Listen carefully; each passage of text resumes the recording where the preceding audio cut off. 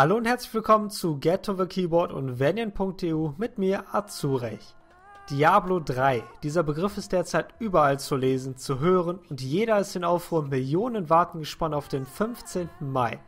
Doch du verstehst überhaupt nicht, warum alle so gehypt sind. Mit Diablo 3 kannst du nichts verbinden und hast keinen Plan, wovon alle reden. Dann solltest du wirklich die nächsten Minuten nicht verpassen, denn ich erkläre von Grund auf an, was Diablo 3 ist und warum zum Teufel die Hölle Mitte Mai ausbrechen soll. Die 3 fällt uns aber direkt ins Auge. Habe ich nun die ersten beiden Teile wohl auferpennt? Anscheinend ja. Denn in der Tat gab es zwei Vorgänger, Diablo 1 und Diablo 2. Diablo 1 erschien in Amerika im Dezember 1996 und wurde zusammen mit dem 2000 erschienenen Diablo 2 zu einer unglaublich erfolgreichen Spieleserie von Blizzard Entertainment. Was ist nun Diablo 3? Diablo 3 ist ein Hack'n'Slay von Blizzard Entertainment, welches 2008 angekündigt worden ist. Als Info nebenbei, Hack'n'Slay ist ein Genre, welches eigentlich dem Rollenspiel entstammt, aber sehr stark auf den Kampf ausgerichtet ist, also wirklich sehr, sehr stark. Im Falle von Diablo 3 kämpft man nun in Vogelperspektive mit einem Helden, den man selbst steuern darf, und maximal drei weiteren menschlichen Spielern gegen Massen von Gegnerhorden durch teils zufallsgenerierte Gebiete in der fiktiven Welt Sanctuario. Dabei stehen einem fünf unterschiedliche Charakterklassen, diverse Zauber und Fähigkeiten und unglaublich viele Waffen und Rüstungen zur Verfügung, um dies zu bewältigen. Aber wollen wir uns mal das allgemeine Gameplay genauer anschauen. Ich steuere also einen Helden, bewege mich mit der linken Maustaste, mit der ich aber auch gleichzeitig angreifen kann, sobald ich einen Gegner anvisiert habe – Dabei macht mein Held alles automatisch. Ich kann mit der linken Maustaste einfach über den Boden fahren und bewege mich dann eben an diese Stelle hin oder greife eben diesen Gegner an.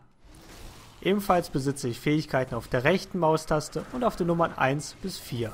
Die Steuerung ist also sehr simpel gehalten. Rollenspieltypisch kann ich nun meinen Helden aufleveln und stärker werden. Erfahrung bekomme ich durch Gegnerkloppen und Quests, die es natürlich ebenfalls in dem in vier Akten unterteilten Spiel gibt. Das Finden von Gegenständen macht einen der großen Reize an Diablo aus. Man bekommt wirklich überall Ausrüstung. Gegner droppen diese, man findet sie in Truhen, sogar schmieden kann man sich welche, aber dazu komme ich noch später. Das Besondere ist, die Stats auf den Items sind zum allergrößten Teil zufallsgeneriert, auch die der starken Items. Ich kann wie gesagt das Spiel mit drei weiteren Leuten im Battlenet zusammen spielen. Die Gegner werden dann stärker, aber es bleibt trotzdem immer fair. Sollte es euch dennoch zu leicht sein, gibt es noch mehrere Schwierigkeitsstufen zur Auswahl. Der letzte soll aber wirklich sehr schwer sein, wartet aber auch mit besonderen Belohnungen auf die Spieler. Komme ich einmal auf die Gegner selbst zu sprechen. Ihr werdet Dutzende auf einmal antreffen und diese aber auch mitunter in Sekundenschnelle töten. Die Masse der Gegner ist dumm und hat keine besondere KI oder Fähigkeiten, außer vielleicht Blocken oder ähnliches. Hier und da gibt es stärkere Gegner oder Gegnergruppen, mit besonderen Fähigkeiten, die auch unter den Namen zu erkennen sind, wie Teleportation oder Stun. Diese sorgen schon mal für etwas Abwechslung im Gefecht. Außer kleineren Zwischengegnern gibt es dann auch wirkliche Bosse, die mehrere Fähigkeiten besitzen und für die man sich auch mal eine Strategie zusammenlegen muss. Gerade im höheren Schwierigkeitsgrad sind diese wirklich harte Brocken.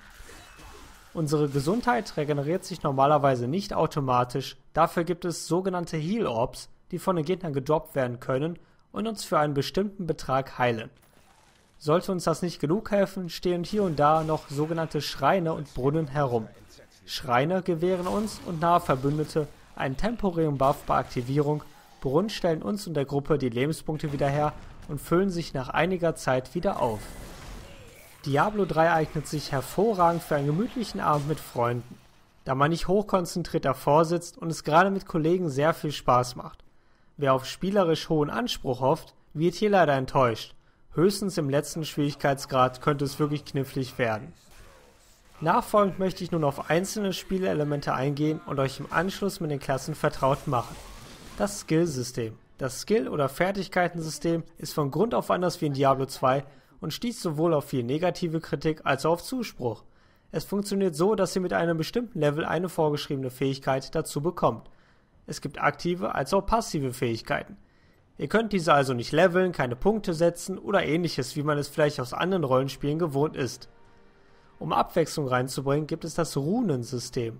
So könnt ihr euren Fähigkeiten jeweils eine von mehreren Runen zuordnen, die die Fähigkeit in eine gewisse Art und Weise, teils sehr unterschiedlich, verstärken. Anstelle sich große Gedanken um die richtige Skillung zu machen, ist es nun wichtiger zu entscheiden, welche Fähigkeiten ich für welche Situation auswähle und welche Rune dazu passen würde. Das Auktionshaus. Ja, auch ein Auktionshaus gibt es in Diablo 3. Stellt es euch erstmal genauso vor wie in World of Warcraft oder anderen Rollenspielen. Ihr könnt für Gegenstände aller Art bieten, diese direkt kaufen oder selbst etwas einstellen. Doch jetzt kommt etwas wirklich Einzigartiges. Diablo 3 führt ein Echtgeld-Auktionshaus ein. Hier könnt ihr wirklich mit eurem Battlenet-Guthaben Ingame-Gegenstände kaufen und verkaufen. Dies soll den Handel über Dritte mit echtem Geld unterbinden, wie es in Diablo 2 in ziemlich großem Stil der Fall war. Auf jeden Fall zu bemerken sei, ihr müsst es nicht nutzen, wenn ihr nicht wollt, und einen Nachteil habt ihr auch nicht. Das Crafting. Gegenstände könnt ihr in Diablo 3 auch selber herstellen, beziehungsweise nicht ihr direkt, sondern zwei verschiedene Handwerker, der Schmied und der Juwelier. Beide Handwerker können aufleveln, indem ihr eine gewisse Summe Gold und später auch Materialien in sie investiert. Der Schmied kann allerlei Rüstungen und Waffen für euch herstellen. Die kosten Gold und ihr benötigt bestimmte Materialien, die ihr durch seltenere Gegenstände bekommt, wenn ihr diese wiederum verwerten lässt. Der Juwelier ist, wie der Name schon vermuten lässt, für Edelsteine aller Art zuständig und stellt sie euch her, lässt sie euch kombinieren oder wieder aus Gegenständen entfernen oder fügt erstmal nötige Sockel euren Gegenständen hinzu. Die Begleiter. Sanctuario ist eine gefährliche Welt und allein umherzustreifen ist nicht immer die beste Idee. Aus diesem Grund habt ihr die Möglichkeit, im Laufe des Spiels auf drei Begleiter zu treffen, von denen euch einer aktiv im Kampf zur Seite stehen kann. Zur Wahl stehen der Templer, der Schuft und die Zauberin. Diese haben selbst unterschiedliche Fähigkeiten und können auch aufleveln. Ebenso könnt ihr sie mit Waffen, Schmuck und einem begleiterspezifischen Gegenstand ausrüsten. Sollte der Begleiter im Kampf zu viele Lebenspunkte verlieren, setzt er für eine bestimmte Zeit aus, kämpft aber anschließend munter wieder weiter. Das PvP. Ja, PvP gab es und leider, ja, spreche ich in der Vergangenheitsform, denn aus Zeitgründen hat Blizzard die PvP-Komponente erstmal gestrichen. Diese soll aber nachgereicht werden, wenn sie den Ansprüchen der Entwickler entspricht. Geplant waren richtige Arenen und Ranked Matches. Nun möchte ich noch zu den Klassen kommen. Es gibt fünf verschiedene Klassen in Diablo 3. Den Barbaren, den Dämonenjäger, den Mönch, den Hexendoktor und den Zauberer. Beim Erstellen der Klasse könnt ihr euren Charakter nicht vom Äußeren her individualisieren, nur das Geschlecht dürft ihr festlegen. Jede Klasse besitzt einen speziellen Ressourcenpool für Fähigkeiten, zum Beispiel Wut beim Barbaren oder Mana beim Hexendoktor – aber dazu komme ich beim genaueren Betrachten der Klassen sowieso noch. Ich fange mit dem Barbaren an. Der Barbar ist eine brutale Nahkampfklasse, ausgerüstet mit schwerer Rüstung und großen Waffen zerschmettert er seine Feinde mit purer Gewalt. Sein Spielstil ist schnell und brachial. Als Ressource verwendet er Wut, welche sich bei eingestecktem und ausgeteiltem Schaden erhöht und für aktive Fähigkeiten gebraucht wird. Nach kurzer Zeit wird die vorhandene Wut langsam abgebaut.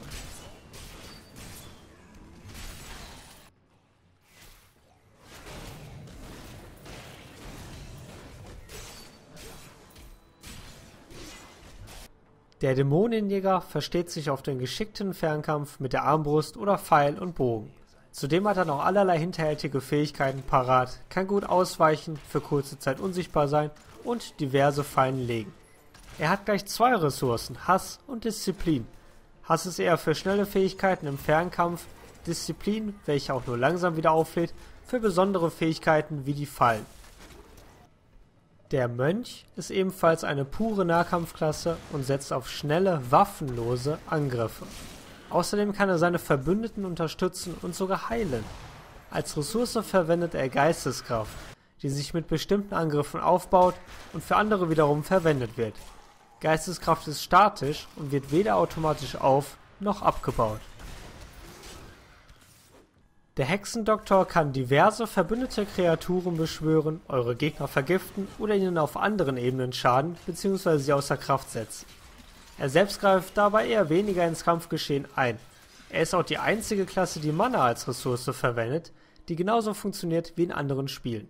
Mana baut sich nach und nach von alleine wieder auf, aber der Hexendoktor verfügt zusätzlich über wichtige Fertigkeiten, mit denen er seine Reserven wieder auffüllen kann.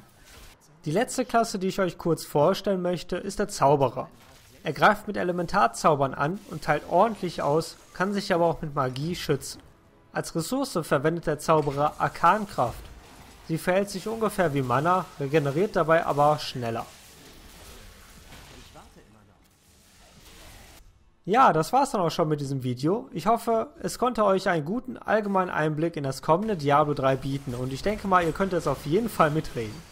Wenn ihr weitere Eindrücke sammeln wollt, schaut auf unseren YouTube-Kanal vorbei, dort findet ihr Gameplay-Videos zu allen Klassen und mehr. Schaut außerdem weiterhin vorbei auf gttk.de und venien.eu für mehr Diablo 3 Content, News und Guides. Ich sage dann einfach mal bis zum nächsten Mal und ciao ciao.